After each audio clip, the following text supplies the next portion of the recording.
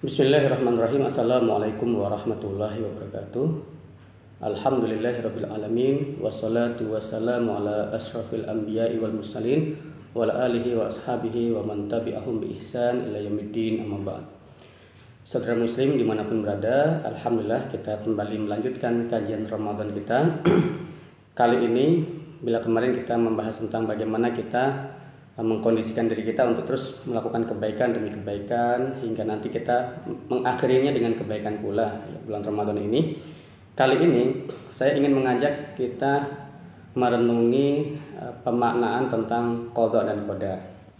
Karena sebagian dari tema kodok dan kodar ini nanti juga akan beririsan dengan amalia-amalia kita. Berapa banyak orang yang kemudian beralasan tidak mampu sesuatu dengan mensandingkan atau menautkannya kepada ketetapan Allah. Dan tentunya ini tidak tepat. Orang yang kemudian melakukan kesalahan menautkannya kepada kuasa Allah. Itu juga tidak tepat dan sebagainya. Baik saya ingin eh, nanti kita melihat pada beberapa firman Allah dalam Al-Quran. Kita eh, coba dulu membaca dalam surat Al-Anbiya ayat 30 ayat 23 ya, Allah berfirman dalam surat Al-Anbiya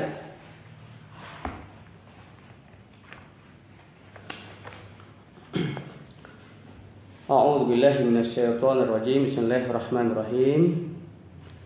Pada ayat 23 kata Allah La yus'alu amma yaf'alu wa hum yus'alun. Ya. Sadaqallahu Di situ Allah berfirman bahwa la yus'alu ya, bahwa dia Allah tidak akan ditanya. Amma ya tentang apa ya. Uh, yaf'alu yang ia kerjakan.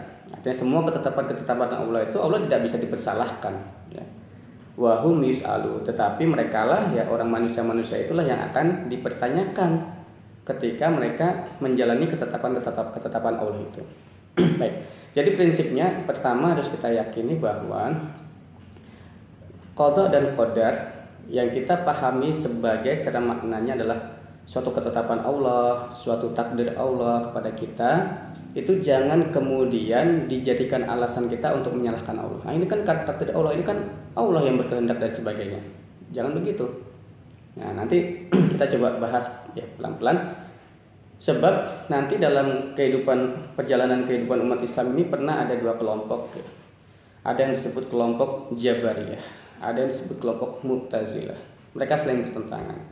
Kelompok Jabariyah menganggap bahwa semua proses kehidupan kita ini tidak lepas dari kendali Allah. Artinya kita tidak punya kuasa untuk mengendalikan. Ya, sama sekali tidak punya kuasa untuk mengendalikan. Semuanya adalah kendali Allah. Sehingga kalau ada apa-apa ya tentunya itu adalah kehendak Allah. Bahkan ketika kita melakukan kesalahan, dianggapnya itu juga kehendak Allah kepada kita.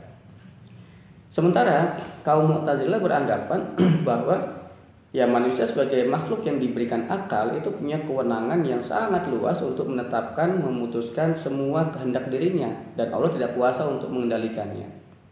Nah, tentu ini adalah dua kelompok yang sangat ekstrim ya. Dan kita ya sebagai kelompok ahli sunnah wal jamaah kita tentunya berada di tengah-tengahnya.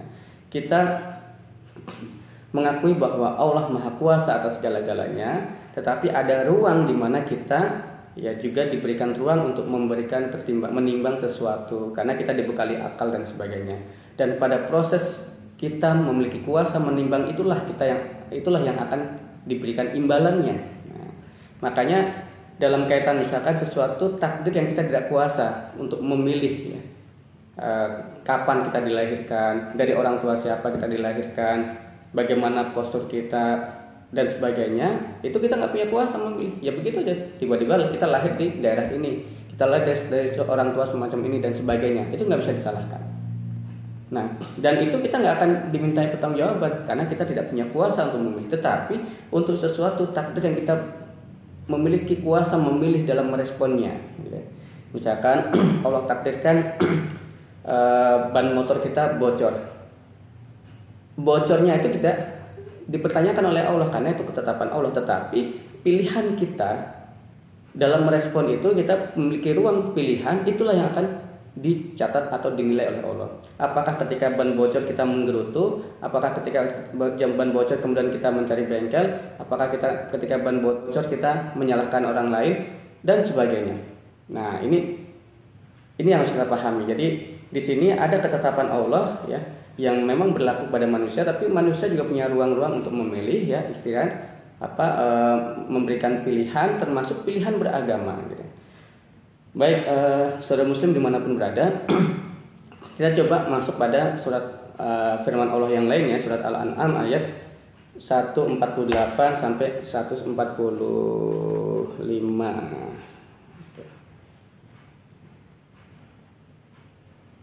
ya. Di situ Allah memberikan contoh. Ini gambaran tentang orang-orang yang kemudian mendustakan Allah, kaum musyrikin. Mereka mengatakan begini.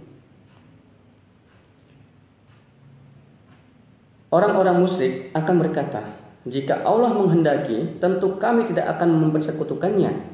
Begitu pula nenek moyang kami, dan kami tidak akan mengharamkan apa pun. Jadi mereka menyalahkan Allah. Loh kami ini kan jadi musyrik karena kehendak Allah. Kalau Allah kehendaki ya kita tidak akan mempersekutukan Allah juga. Gitu. Nah, lalu kemudian dalam firman itu Allah sebutkan demikian pula orang-orang sebelum mereka yang telah mendustakan para rasul sampai mereka merasakan azab kami. Jadi alasan-alasan seperti itu juga biasa pada umat-umat sebelumnya.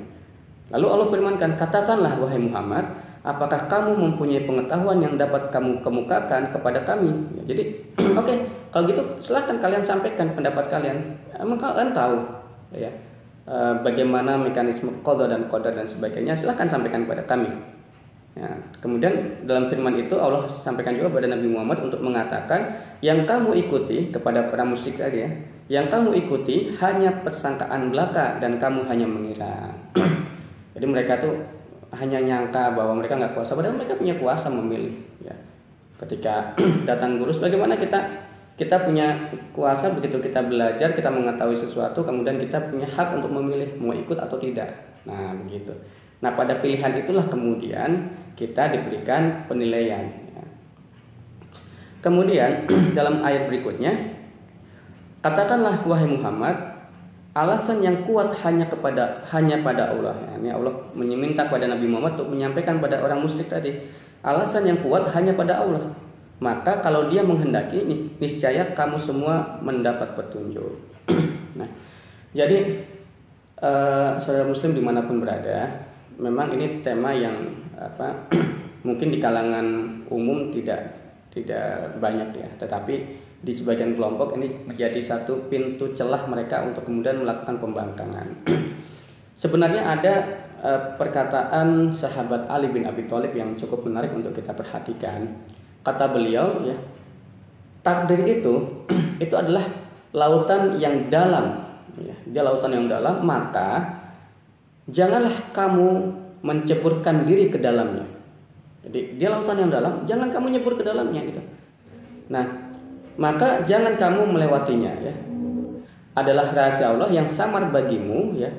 Maka janganlah kamu membukanya. Jadi kata beliau tuh uh, takdir itu lautan yang dalam kamu jangan mencebur nanti kalau mencebur kamu ya udah kamu tenggelam nggak bisa ngapa-ngapain gitu. takdir itu adalah jalan yang gelap kamu jangan masuk ke situ ya. takdir itu adalah uh, sesuatu yang samar yang kalau kamu buka kamu akan memiliki banyak keraguan-keraguan gitu.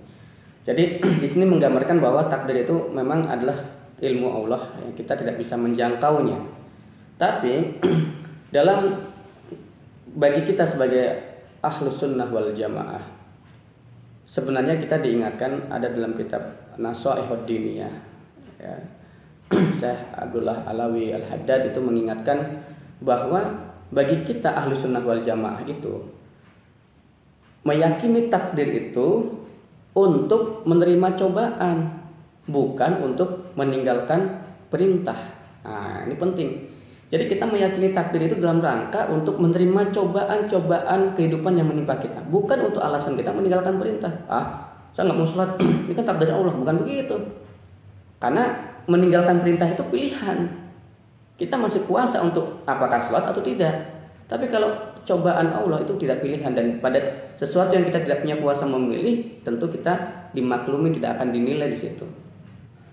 Kemudian kita coba pada uh, membuka firman Allah yang lainnya dalam surat Al-Hadid ya. Ayat 22 sampai 23 Allah berfirman di situ ma asaba min musibatin fil ardi wala fi anfusikum illa fi kitabim min qabli an nabra'akum an nabra'aha ya. inna dzalika 'ala Allah yasir likaila ta'saw 'ala ma fatakum wala tafrahu bima atakum wallahu la yuhibbu kulla muhtalin fakhur Masya Allah jadi Allah berfirman di sini, setiap bencana yang menimpa di bumi dan yang menimpa dirimu sendiri semuanya telah tertulis dalam kitab Lauhul Mahfuz. Sebelum kami mewujudkannya, oke? Okay? Sungguh yang demikian itu mudah bagi Allah. Nah, jadi setiap bencana itu sesuai dengan ketetapan Allah. Kita harus meyakini itu. Kemudian agar kamu tidak bersedih hati, ya kata Allah begitu. Jadi kenapa kita harus meyakini itu? Karena agar ketika bencana itu menimpa kita yang sudah ditetapkan kepada kita itu kita dengan sadar diri, oh udah mau udah ketetapan Allah. Kita tidak bersedih hati, biasa saja. Ya terhadap apa yang luput dari kamu ya. Kita udah berusaha antisipasi tapi namanya takdir ya terjadi. Kita santai saja tidak bersedih hati. Dan dan tidak pula terlalu gembira terhadap apa yang diberikannya kepadamu gitu. Dan Allah tidak menyukai setiap orang yang sombong dan membanggakan diri. Nah, jadi konteksnya memang seperti itu.